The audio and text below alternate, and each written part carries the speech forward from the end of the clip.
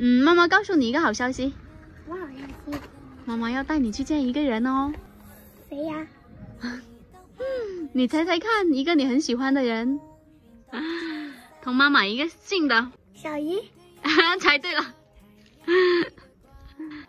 见不到舅舅可以见小姨。嗨，我轩，好久不见。我妈妈说你开服装店了。是啊，你要出去玩吗？嗯。这样子啊，那我等待会带你出去玩好不好？那你要不要上学？我放假先。